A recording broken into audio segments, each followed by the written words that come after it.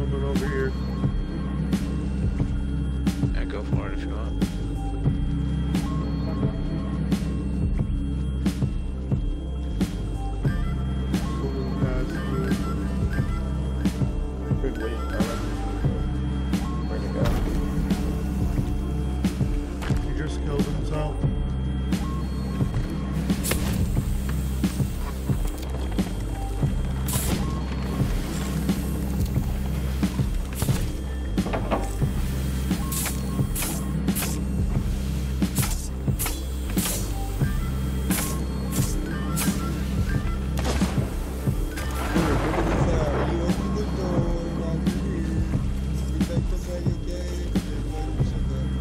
What the fuck just happened?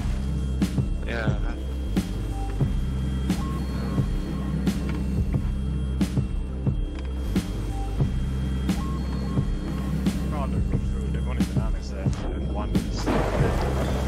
I have all your pineapples.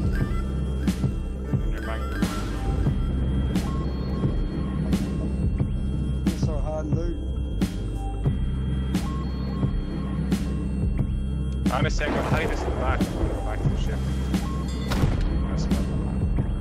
Oh, someone mega uh, no. I just got struck by lightning right now, and I was holding the middle